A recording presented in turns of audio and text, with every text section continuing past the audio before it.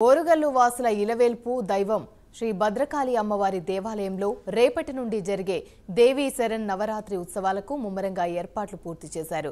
తొమ్మిది రోజుల పాటు జరిగే ఉత్సవాల్లో అమ్మవారు రోజుకొక అవతారంలో భక్తులకు దర్శనాన్నివ్వనున్నారు.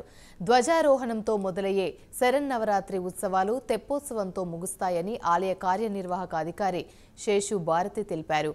మహాలయ అమావాస్య సందర్భంగా అమ్మవారికి అర్చకులు పంచామృతాలతో పాటు వివిధ సుగంధ ద్రవ్యాలతో అభిషేకం నిర్వహించారు. అనంతరం అమ్మవారిని పసుపుతో సర్వాంగ సుందరంగా అలంకరించారు.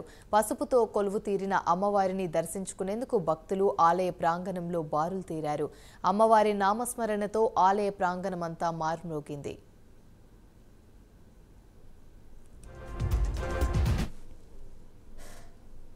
వచ్చిన భక్తుల పాలిడే కోరిన కోరికలకు కుంగు బంగారముతూ ఈ లోకాన్ని తన కరుణారస వీక్షణంతో అనుగ్రహిస్తున్నది భద్రకాళి అమ్మవారు.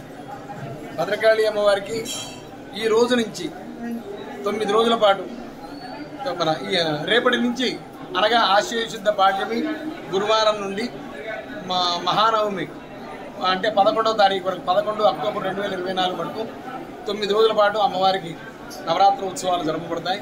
శరత్కాలే మహాపూజ క్రియతే యాజవార్షికి తస్యామమిదం మాహాత్మ్యం శుద్వాభక్తి సమన్విత సర్వ బాధా వినుక్తో సుధాన్విత మనుష్య మత్ప్రసాదేన భవిష్యత్తున సంశయ అని.